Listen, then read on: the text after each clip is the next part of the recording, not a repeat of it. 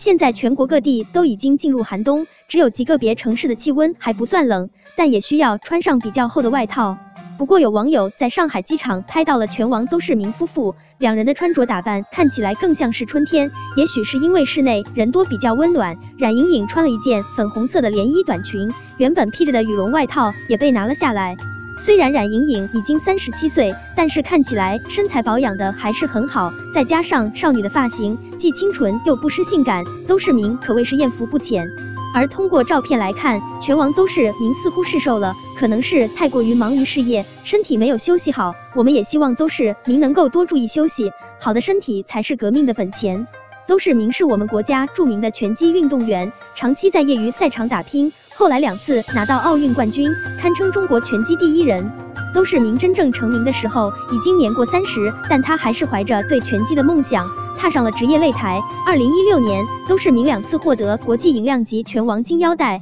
成为我国第二位职业拳王。不过在第二年的比赛中，邹市明惨遭对手 KO，没有再次登上拳王宝座，他的职业生涯也就此终结。离开拳坛后，邹市明没有远离拳击运动，先是在上海拳击协会任职，后来又开办了自己的拳击训练馆，在生意场上混得风生水起，同时还参加了很多综艺节目。他的几个孩子都得到了全国网友的喜爱。实际上，邹市明能够取得成功，除了个人努力之外，还离不开妻子冉莹颖的帮助。外界评价冉莹颖的时候，关注点总是在她过于卡带山化的身材和略显另类的妆容和穿着上，却忽略了她超强的商业包装和运营能力，以及作为妻子和母亲的无私奉献精神。邹市明和冉莹颖都是贵州遵义人，在一次活动中相识后，两人逐渐发展成恋人关系。